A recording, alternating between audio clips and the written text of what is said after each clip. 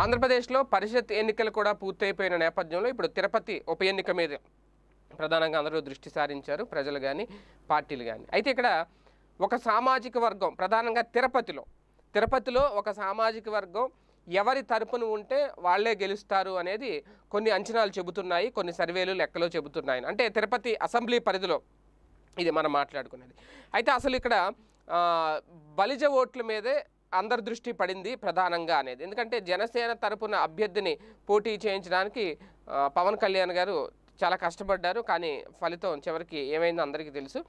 Bharatiya Janata party తరపున అభ్యర్థి అది కూడా జనసేన అధినేత పవన్ కళ్యాణ్ గారు రికమెండ్ చేసిన అభ్యర్థి బరిలోకి దిగారు. అయితే ఇప్పుడు తాజాగా పవన్ గారు మొన్న రోడ్ షోలో బహిరంగ సభకు కూడా బలిజ ఓట్లను అడ్డుకోవడం కోసమే అనేదే ఇక్కడ ప్రధానంగా చర్చనీయాంశమైంది. ఆయన ప్రచారంలో ఆయన ఏ మేరకు సక్సెస్ అయ్యారనేది ఒక రకంగా ఇంకా సస్పెన్సే. ఎందుకంటే అది తీర్పు తర్వాత ఫలితం తర్వాత తెలుస్తుంది. కానీ చరిత్ర చూస్తే ఒకసారి బలిజల ఓట్లు ప్రతిసారి ఒకే పార్టీకి మద్దతుగా ఉన్నట్లు కనిపించదు అనేది కొంతమంది విశ్లేషకులు చెబుతున్నారు. ఎందుకంటే ఒకసారి ఒక పార్టీకి మద్దతుగా ఉంటే మరోసారి ఇంకో పార్టీకి అంటే తిరుపతి అసెంబ్లీ నుండి కాంగ్రెస్ పార్టీ తరపున అప్పుడు మబ్బు రామరెడ్డి రెండుసార్లు గెలిచినప్పుడు కూడా బలిజ ఓట్లు చాలా కీలకమయ్యాయంట. అంటే చరిత్ర ఒకసారి చూసినప్పుడు. అలాగే టీడీపీ తరపున అసెంబ్లీ పరిధిలో ఇది నేను చెప్పేది.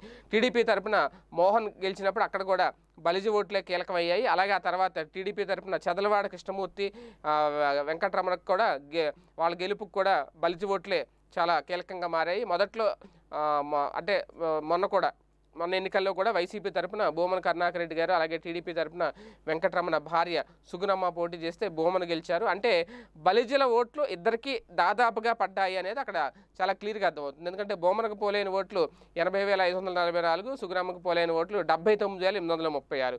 అలాగే జనసేన తరపున చదలవాడ కృష్ణమూర్తి గారికి పన్నెండు వేల మూడు వందల పదిహేను. అంటే చదలవాడ బలిజ అభ్యర్థి అయినా బలిజల ఓట్లు అయితే ఆయనకు పడలేదు అనేది అక్కడ చాలా స్పష్టంగా అర్థమవుతుంది. అలాగే సుగుణ గారికి అలాగే బొమ్మనకి బలిజల ఓట్లతో పాటు ఇతర ఓట్లు కూడా పడ్డాయి కాబట్టి వాళ్ళకి భారీగా అంటే వందల్లో మెజార్టీ వచ్చింది. వాళ్ళిద్దరి మెజార్టీ పెద్ద డిఫరెన్స్ లేకపోయినా అంటే ఇక్కడ గమనించాల్సింది ఏంటి అంటే బలిజల ఓట్లు మొత్తం ముగ్గురికి మధ్య చీలిపోయాయి అనేది. అంటే ప్రస్తుతం లోక్సభ ఉప ఎన్నికల్లో బలిజల ఓట్లు ఎవరి వైపు మొగ్గు చూపుతాయి అనేది ఇప్పుడు ఇక్కడ కీలక అంశంగా మారిందంట.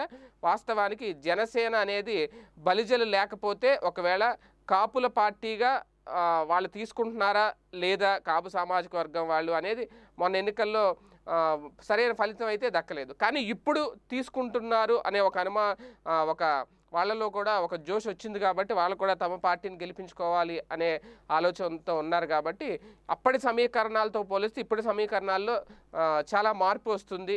అనేది సామాజిక సమీకరణాలు. అంటే ఉభయ గోదావరి జిల్లాలో కూడా జనసేన అభ్యర్థులకు మన ఓట్లు రాకపోవడంతో అదే కారణం అనుకున్నారు. ఎందుకంటే అక్కడ కూడా ఎక్కువ ఉంటారు కాబట్టి.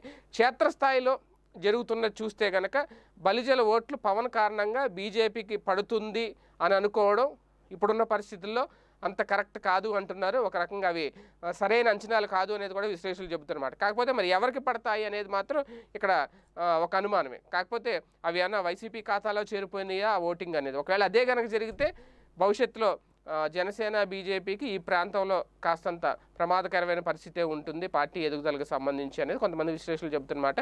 మరి చూడాలి. కీలకంగా మారుతున్న బలిజ ఓటింగ్ ఈసారి ఎవరి ఖాతాలో పడబోతుంది అనేది వేచి చూడాల్సిన అంశం.